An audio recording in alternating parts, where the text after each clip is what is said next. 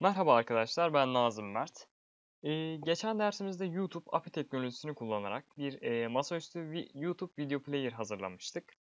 Bu dersimizde de bir başka API teknolojisi sunan Yandex Metrica adlı e, hizmetin e, API teknolojisini kullanarak Yandex Metrica üzerinde bulunan sayaçlarımızın sayaç bilgilerini ASP.NET MVC aracılığıyla web sayfasında göstereceğiz arkadaşlar.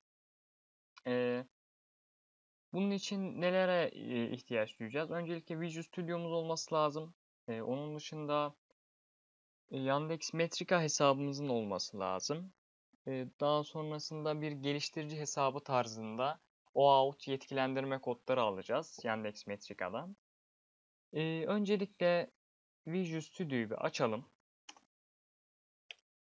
Bu açıla dursun. Google.com.tr diyorum. Burada daha önceden e, bir arkadaş e, ASP.NET'te değil de masaüstü programlamada e, Yandex Metrica API'sini kullanmış. Biz onun kodlarından yararlanacağız ve üzerinde geliştirmeler yapacağız. C Sharp Yandex Metrica API diyorum. İlk çıkan sonuca tıkladım arkadaşlar. Evet aşağıya iniyorum. Burada yeni bir müşteri oluşturmuş. Evet müşteri. Burada gerekli ayarları yapmış. Burada da Authentication Out kodunu almış. Burada da neler yapılabileceğini anlatmış.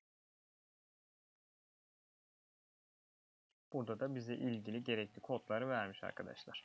Şimdi biz gidip ilk önce bir Authentication e, oluşturmak için Yandex Metrica'nın OAuth yandex.com olması lazım. Evet bu. Şu kısmına girelim.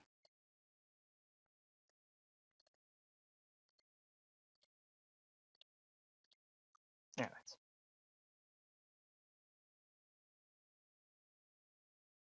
Buradan Access Management. Buradan bilgilerimizi yazalım. Login olalım arkadaşlar.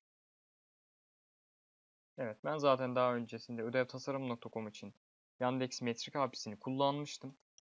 Tekrardan şu adrese bir daha girelim. o6.yandex.com Heh, Create New Client. Buna tıklıyoruz arkadaşlar. Şimdi burada title'a ne yazabiliriz? MVC Yandex Metrica API diyelim. Evet, description'a da MVC için yapılmış Yandex Metrica API Evet. İkona gerek yok arkadaşlar. Link to clean site. Bu site müşterinin linki tarzında bir şey diyor sanırım. Bunu da şöyle yapalım. Buradan yeni bir proje oluşturuyorum arkadaşlar ben.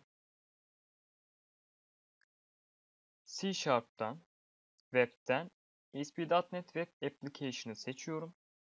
İsmine de Yandex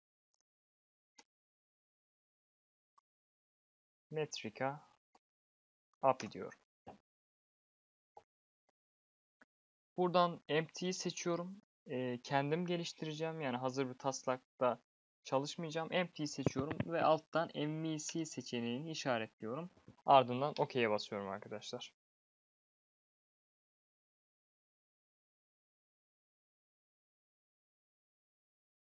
Bu açıla dursun. Yandex Metrica'yı seçmemiz lazım burada. Yandex Metrica'yı seçiyorum. Burada hangi API'yi kullanmak istediğimizi soruyor. Access Statistics ve tüm sayaç ayarları. Bunu da seçiyoruz arkadaşlar. Evet, callback URL. E, hangi URL'e dönecek? Biz e, authentication kod oluşturmak istediğimizde hangi URL'e yönlendirme yapacak? Bunu da buraya yazacağız. Öncelikle bu açıldı. Ben buraya controllers diyorum arkadaşlar. Sağ kısımdan. Buradan controllers dedim. Sağ tıkladım. Add controller. Buradan MVC5 controller empty. Boş bir MVC5 controller'ını seçiyorum. Ve add'e tıklıyorum. Buraya da home controller yazıp yeni bir controller oluşturuyorum arkadaşlar. Evet. Index. Daha sonrasında index kısmına sağ tıklıyorum. Add view diyorum arkadaşlar. Use a layout page. E, layout page kullanmayacağım. O yüzden buradaki tiki kaldırıyorum. Add'e basıyorum. Evet. Burada yapacağımız sadece linklemeler kaldı. Evet. Şimdi ben bu projeyi bir çalıştırayım arkadaşlar. F5'i basıp çalıştırdım.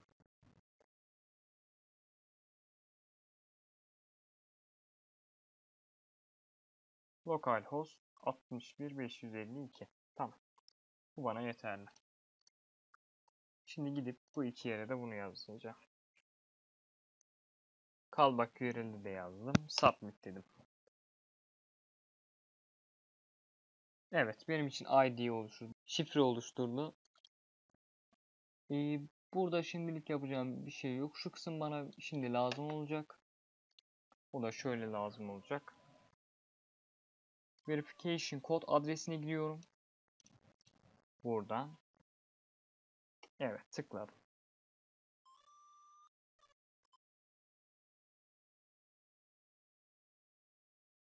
Ancak sanırım e, belli başlı değerler girmemiz lazım. Ondan boş bir sayfa gösterdi. Burada ne yazıyor? Trafik summary. Evet. Şu kısım. Bunu olduğu gibi yazalım arkadaşlar. Outyandex.com Authorize Authorize eşittir mi? Yok. Yeni bir query string oluşturuyor. Response type. İstek türü. Token. Token için bu istekte bulunuyoruz arkadaşlar. V dedim. Client ID eşittir. O da application ID. Yani şuradaki ID'miz oluyor. Bunu seçiyorum arkadaşlar. Boşluk bırakmayayım. Evet. Yapıştırdım ve Enter'a bastım arkadaşlar. Evet. Şimdi benden o onay istiyor. Buna allow diyorum arkadaşlar. Evet. Beni e, localhost 61552 adlı adrese yönlendirdi. Ve benim için access tokeni yani erişim tokenimi de burada belirtti arkadaşlar. Bunu kopyalayacağım. Bu bana lazım olacak. Şurada, şurada dursun şimdilik. Bunu kapatalım. Şimdi burada arkadaş zaten e, kodları hazırlamış. Biz bu kodlar üzerinden gideceğiz. Öncelikle class kısmını ben bir kopyalayayım arkadaşlar. Home controller'a geliyorum. Index'in üstüne satırlar açıyorum. Shift F5 yapıp kapattım projeyi. Evet şimdi indeksin üstüne satırlar açıp kopyaladığım kodu buraya yapıştırıyorum arkadaşlar. Bu klası buraya yapıştırdım. Bize lazım olacak. Bunları Türkçeleştirelim. D yerine gün diyelim. Visit yerine ziyaretler diyelim. Visitors yerine ziyaretçiler diyelim. Page views sayfa görüntülenme diyelim. New Visitor'da yeni ziyaretçiler diyelim. Evet. Şimdi başka hangi kodlar? Şimdi de direkt olarak XML olarak çekebileceği kodları vermiş. Bunu da şu şekilde kopyalayacağız arkadaşlar. İndeksin içine yapıştıracağız. Evet. Şimdi şurada gerekli düzenlemeleri yapacağız. Burası bizim sayaç ID'miz. Bunu şimdi metrik adına alacağız. Şu kısımda Authentication Out Token. Onu da şuraya kopyalamıştık. Bunu alıyorum olduğu gibi. Şu kısma yapıştırıyorum arkadaşlar. Evet. Şu date kısmı benim işime yaramayacak. Onu siliyorum. Evet. XML document gerekli e, DLL'leri using olarak ekliyorum. Sistem XML. Estay buraya Türkçeleştirmiştik. Eskün. Es ziyaretler. S nokta ziyaretçiler. S nokta sayfa görüntülenme. S nokta yeni ziyaretçiler. Evet. Şu kısımda da düzenlemelere gerek yok. Bu zaten XML kısmından alıyor. XML'de bu şekilde belirtilmiş. O yüzden burada bir değişiklik yapmayacağız. Data Grid'i bu e, maalesef ASP.NET MVC'de yok. Onun yerine e, return'ü yani listeyi return edeceğiz. Onu da hemen yapalım burada hatta. Return with stats. Bu listeyi return ettim arkadaşlar. Daha sonrasında bakalım şöyle direkt bu şekilde veriyi alıyor. Biz şu sayaç kodunu düzenlememiz lazımdı. Onun için de hemen metrika.yandex.com.tr'ye giriyorum arkadaşlar. Geç diyorum burada. Buraya hemen kullanıcı adı ve şifremi yazıyorum. Giriş yaptım. Ben e, NeoSamnet için NeoSamnet'in e, sayaç verilerini çekeceğim. O yüzden sayaç kodu zaten sistemin URL'inin yanında bulunuyor. Bunu kopyaladım. Ve şu kısma yapıştırıyorum arkadaşlar. Tamamdır. Bu kod, e, bu URL'i bir kopyalayayım. Tarayıcıda bir deneyeyim. Enter dedim arkadaşlar. Evet kod çalışıyor. Daha doğrusu URL e, API'ye erişim sağlayabiliyor. Yani authentication kod ve e, sayaç ID'm doğru. Burada e, ilk tarih yani başlangıç tarihi ocağın 30'u 2016. İkinci yani e, 7 günlük veriyi veriyor sanırım e, API teknolojisi. Bize sadece 7 günlük kısmı sunuyor. Biz bunlarla iş, işlem yapacağız. E, son tarihte bugün yani 5 Ocak 2000 5 Şubat 2016. Tamamdır. Ee, şimdi ne yapalım? İlk indeks tasarımına geçelim mi? Geçelim. Tamam. Şuraya hemen bir şey de yapalım arkadaşlar. Biraz görüntüsünün güzel olması açısından e, analitik e, JavaScript'leri var. Yani daha güzel bir görüntü sunuyor. Onlardan bir tanesini yapalım örnek olarak. Siz istediğiniz gibi geliştirebilirsiniz zaten. E, buraya ben e, chart diyorum. JavaScript. Evet. ilk çıkan sonuca tıkladım. Sayfa açıldı. Demo dedim. Pick Charts Demos. Buna tıkladım arkadaşlar. Buradan beğendiğiniz herhangi bir tanesini seçebilirsiniz. Ben buradan şunu seçeceğim arkadaşlar. Stackit or View Options Edit'in CS Fiddle. CS Fiddle'da düzenleme sayfasına gidiyorum arkadaşlar. Burada gerekli kodlar var zaten. Bu kodlar olduğu gibi kopyalayacağım ve üzerinde geliştirmeler yapacağım. Script Search, Hit Chart, JavaScript. Tamam. Bunu e, tarayıcıda açıyorum. İçindeki kodları kopyalayacağım. Visual Studio'da yeni bir JavaScript dosyası açarak içlerine yapıştıracağım arkadaşlar. Buradan hemen add diyorum. Yeni bir dosya oluşturdum. Buna da Java script dedim. Evet. Şimdi JavaScript'te sağ tıkladım.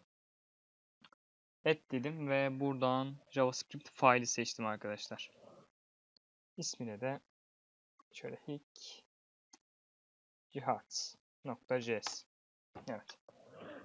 Kopyaladığım e, JavaScript kodlarını buraya yapıştırıyorum ve kaydediyorum.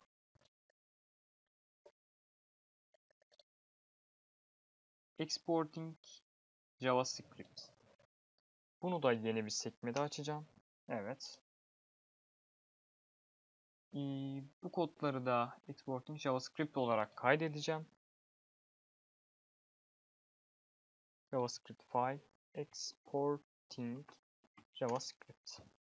Evet bunu da yapıştırdım. Tamamdır. JavaScript işimiz sanırım bitti. Hmm, bir de gerekli olan e, jQuery kütüphanesini çağırmam lazım. Onun da son sürümünü çağırayım. jQuery jdn diyeyim. Bakalım.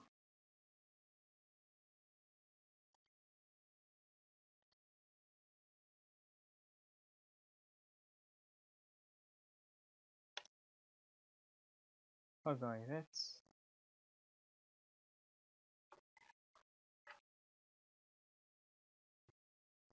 Neden açmadı acaba? jQuery desem sadece. jQuery ee, dosyası diyeyim.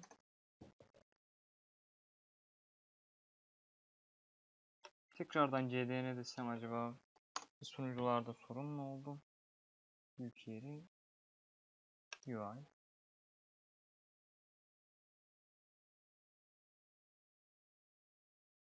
Sanırım sizde bir sorun var arkadaşlar. İnternetten herhangi bir siteden jQuery kütüphanesini indirelim. Kütüphanesi indirdiğim. Ve burada da sorun olur mu? Bu sayfayı açıyor arkadaşlar. Demek ki o sayfada bir sıkıntı var. jQuery 2, ikisi tamam 2.2.0 Bunu indirdim arkadaşlar. Evet. Şimdi bunu JavaScript dosyasının içine atıyorum. Tamamdır. Şimdi bu üçünü çağırabilirim artık view tarafında. Title'ın altına iniyorum arkadaşlar. Teker teker çağırıyorum hepsini.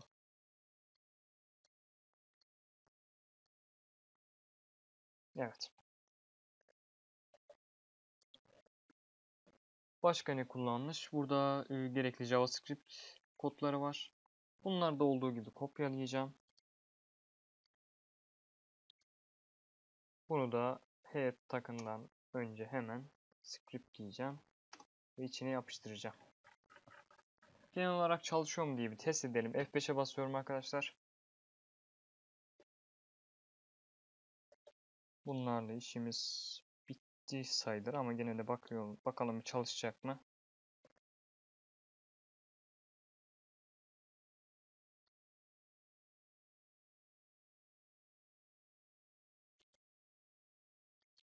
çalışmada acaba erişemedi mi diyeceğiz.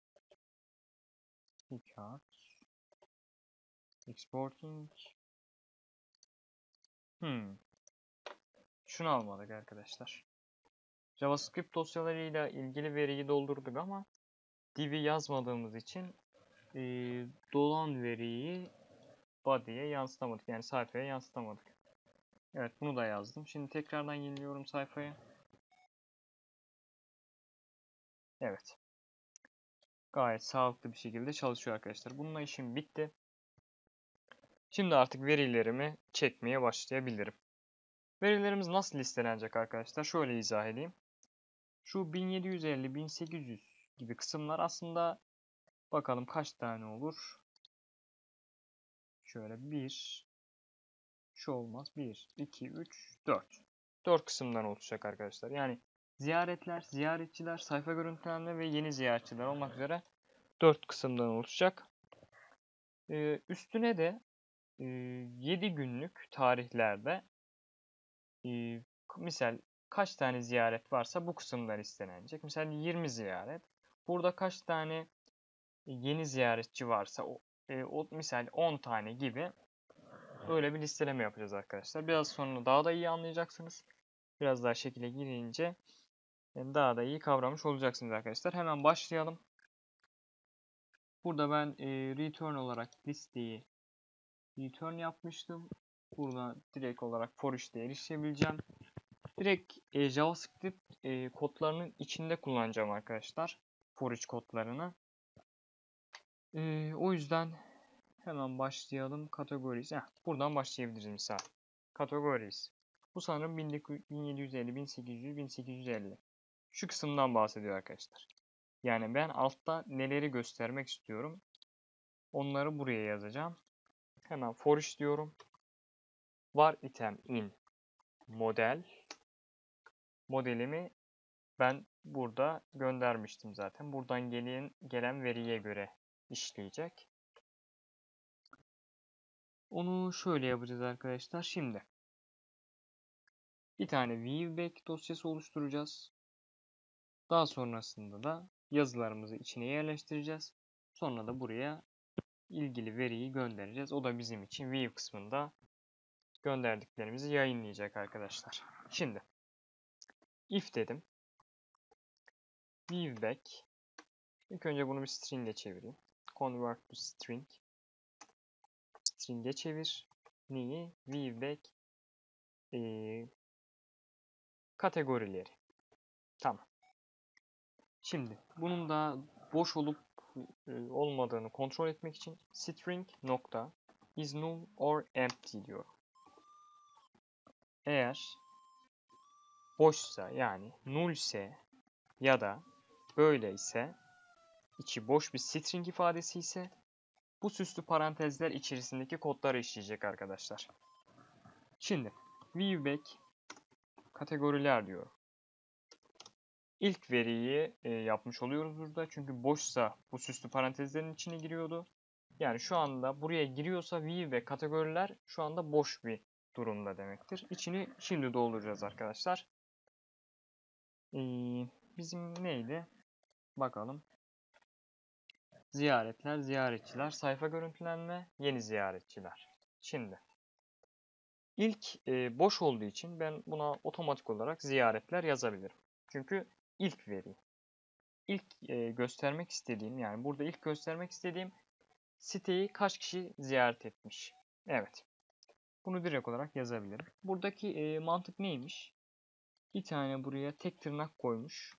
Tamam biz de koyduk. Bir de sonuna koymuş. Daha sonrasında da buraya bir virgül koymuş. Biz virgülü burada e, koyalım. Tamam. Şöyle koyalım. Bunu kapatalım. Else diyelim bir de.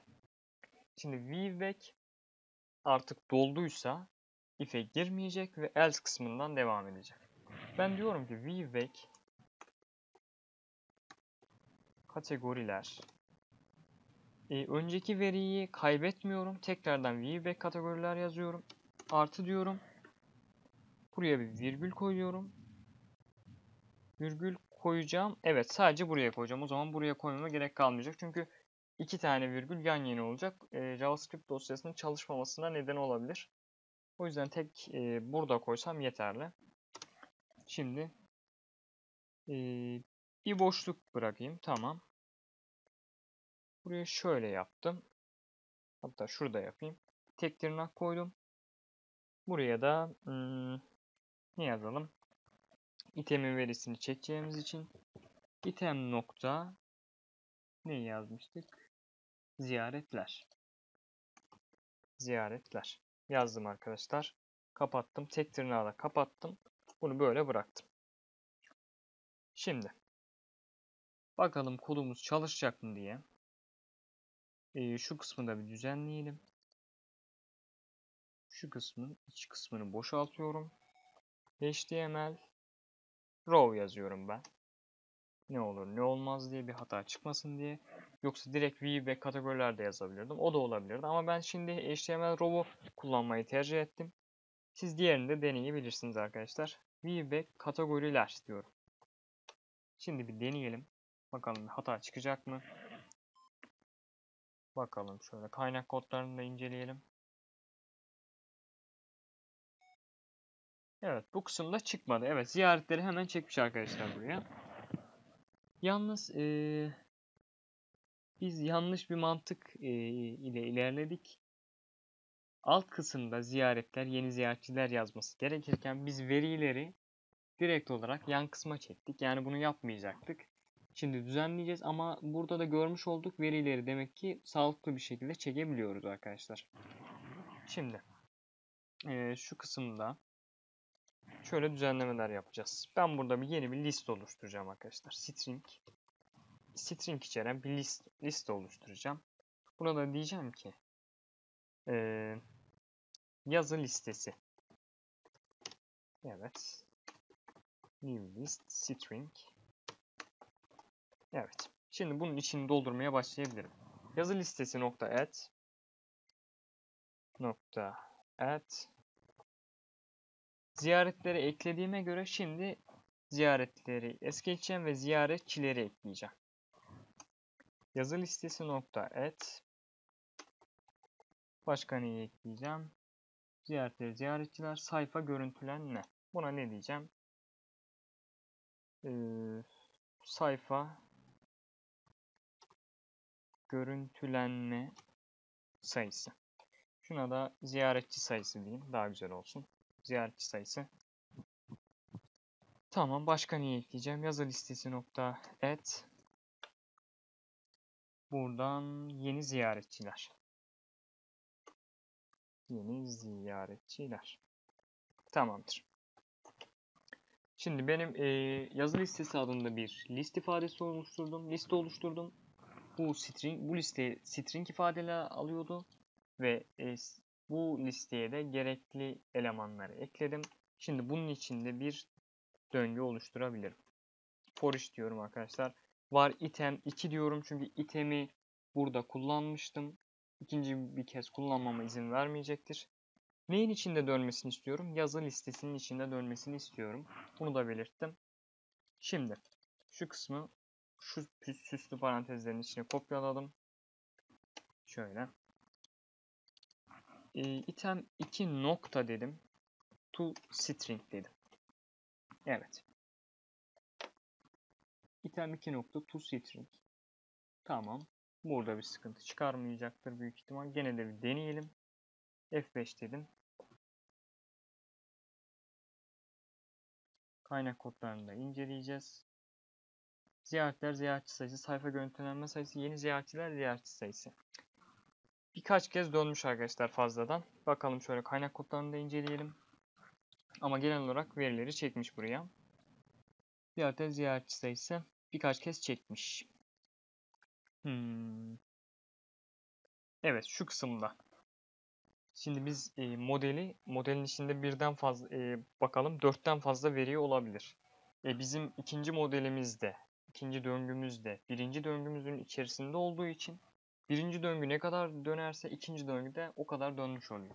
Şimdi bizim bunun önüne geçmemiz için son veri olan yeni ziyaretçilerin içinde yani şöyle if viewback nokta kategorilerin içinde bizim yeni ziyaretçilerin içerip içermediğini yani şu string ifadesinin içerip içermediğini bir kontrol ettirmemiz lazım. Onu da şöyle yapacağız arkadaşlar. Convert to string ee, item 2 demeyeceğiz. Viewback nokta kategoriler nokta contains yani içerip içermediğini bununla göreceğiz arkadaşlar. Ne diyeceğim buraya? Yeni ziyaretçiler. Bunu dedikten sonra arkadaşlar eğer içeriyorsa bu kısma girecek. İçermiyorsa buradan devam edecek. E, içeriyorsa peki benim ne yapmam lazım? Döngünün içinden çıkartmam lazım. Onu da birlikte rahatlıkla yapabilirim arkadaşlar. Şimdi sayfamı yeniliyorum.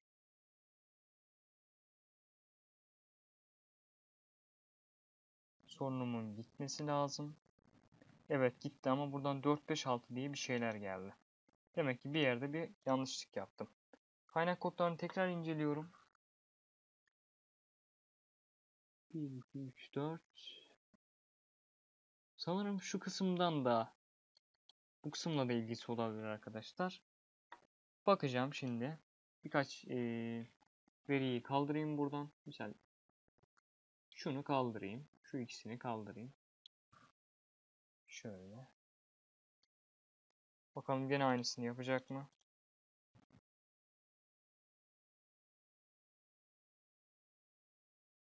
Gene aynı sorunu verdi. Hmm, acaba nereden kaynaklanıyor olabilir diye düşünüyorum. Yeni ziyaretçiler 4, 5, 6. Hmm. Ziyaretler, ziyaretçiler. Şimdi bakalım arkadaşlar. Bu kısmı tekrar bir kontrol edelim. Ziyaretçiler, ziyaretçi sayısı, sayfa görüntülenme sayısı, yeni ziyaretçiler. Bakalım tekrardan. Nerede hata yapmış olabiliriz? Şu kısmı tamamen bir kaldırmayı deneyelim. Ya da eee, şunu mu yapmamız lazımdı? Şimdi burada 1, 2, 3, 4, 5, 6, 7 tane veri var. Burada bakalım kaç tane oldu? 1, 2, 3, 4, 5, 6, 7. Evet. Muhtemelen buradan kaynaklanıyor arkadaşlar. Ben bunun 3 tanesini siliyorum. Evet. Şu kodu kopyalıyorum. Şöyle yapıştırıyorum arkadaşlar. Bir daha yapıştıralım. Tamam. Şunu silelim. Tamam. Şimdi bir daha deneyelim. Bakalım aynı hatayı verecek mi? Evet. Güzel. O hata demek ki oradan kaynaklanıyormuş arkadaşlar.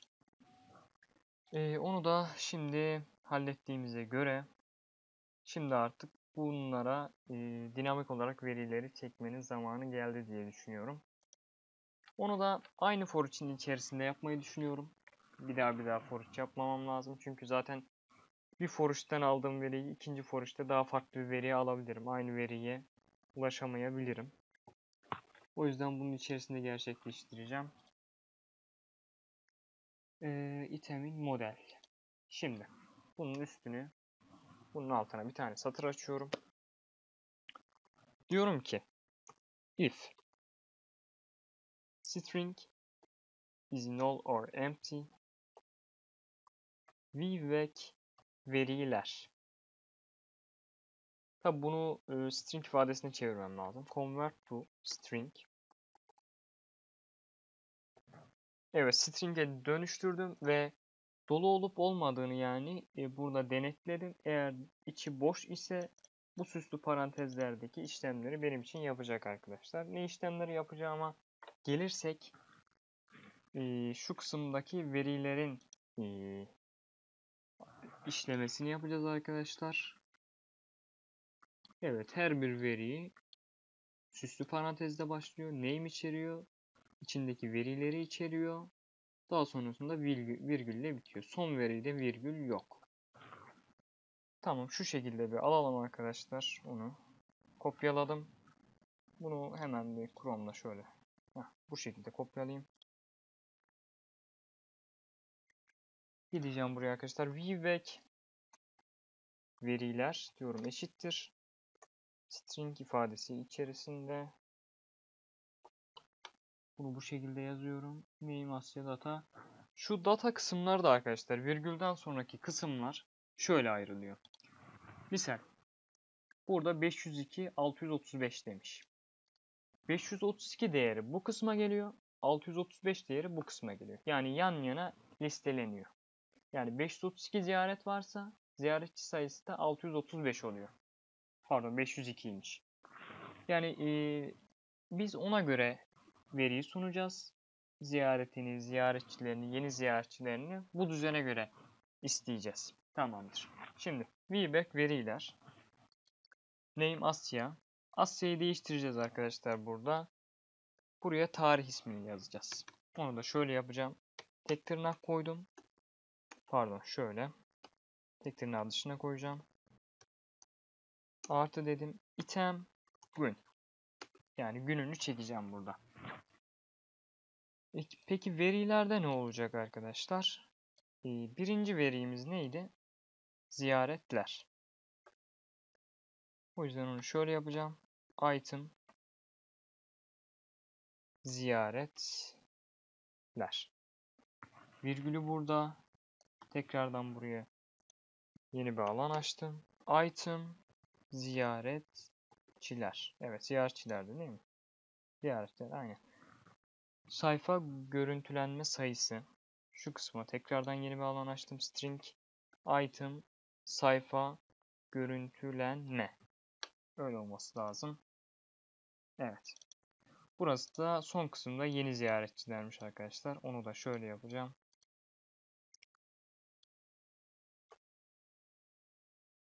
Item nokta yeni ziyaretçiler. Şu artılarını da koyayım ayırmak için.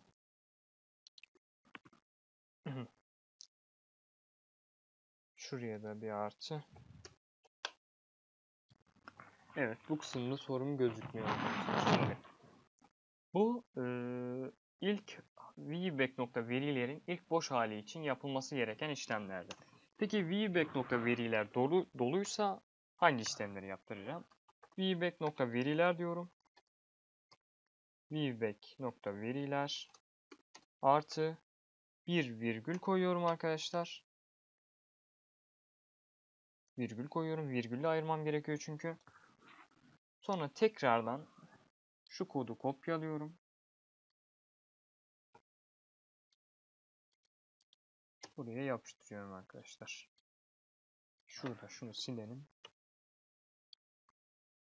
Ee, nasıl yapacağız bunu? Heh, şu şekilde. Evet. Hmm, bir test olarak bir deneyelim arkadaşlar. Hatası varsa da zaten düzeltme işlemlerini yaparız. Şu kısmı sileceğim. Şöyle. Series. Bunun içine de diyeceğim ki HTML row viewback nokta veriler. Dedim. Tekrardan yeniledim sayfayı.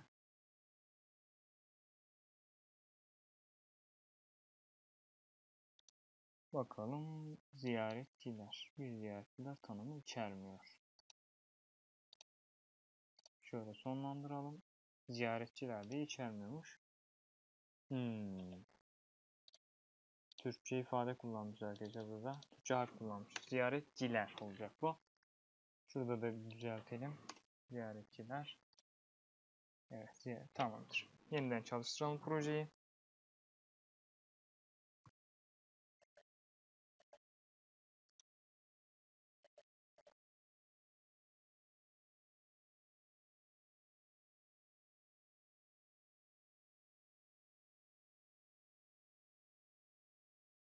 Evet arkadaşlar verilerimiz geldi sanırım. Evet 34, 37, 33, 37 gibi veriler geldi. Evet tamam. Muhtemelen doğru veriler ama biz gene de doğruluğunu kontrol edeceğiz arkadaşlar sizlerle. Şurada 34 milyons yazıyor misal. O milyonsları taneye çevirelim. Bakalım şurada.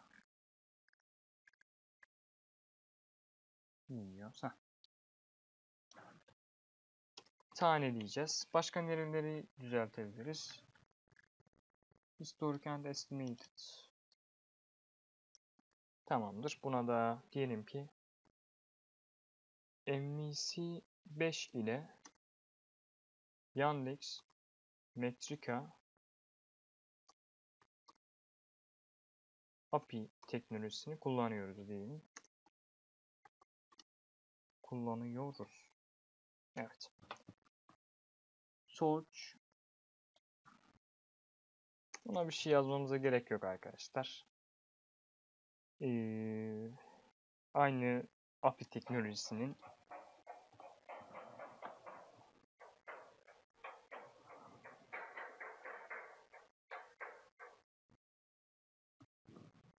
aynı API teknolojisinin ee, web vizör sistemi içinde gelmesi dileğiyle. Hizmeti içinde gelmesi dileğiyle.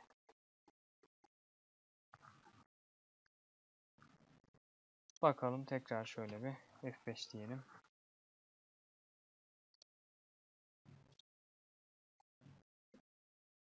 Evet 34 tane ziyaret, 33 tane ziyaretçi, 47 tane sayfa görüntülenme sayısı, 33 tane yeni ziyaretçi arkadaşlar. Yani e, sorunsuz bir şekilde çalışıyor.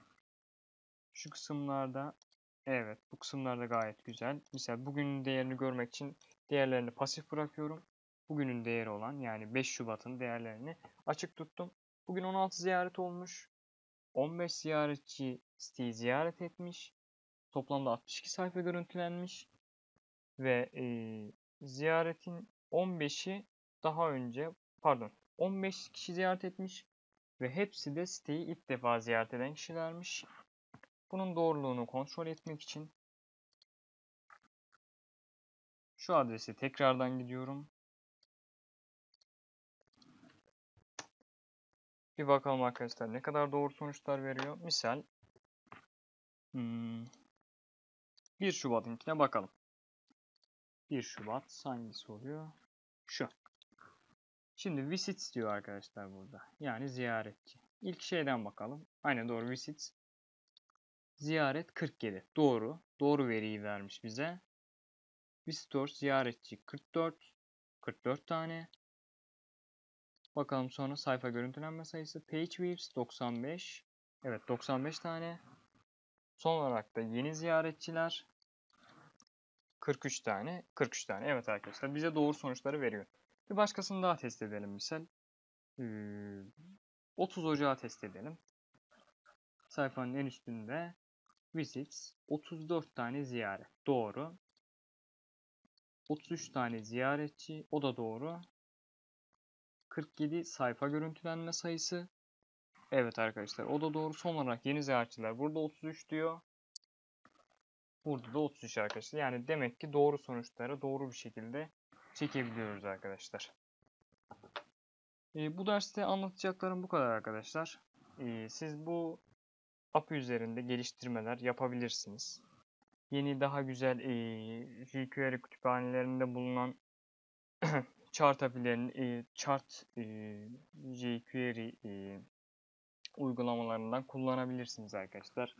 İşte şekilli. Misal Google'ın e, şöyle bir şey vardı. Google Chart diye.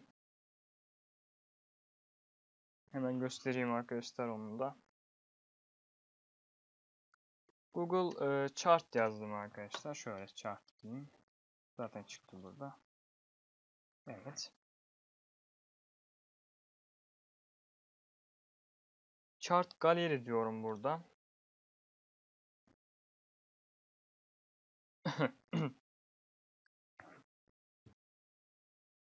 Herhangi birisini seçebilirsiniz arkadaşlar.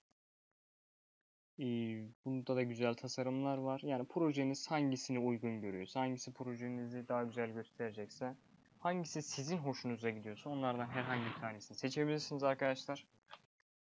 Bu derste dediğim gibi anlatabileceklerim bu kadardı. Bir sonraki derste görüşmek üzere arkadaşlar. Videoların devamı için e, kanala abone olabilirsiniz. E, herhangi bir sorunuz varsa yorum kısmından yazabilirsiniz. تطير انت في العالي ما نوصل لك يا غالي تطير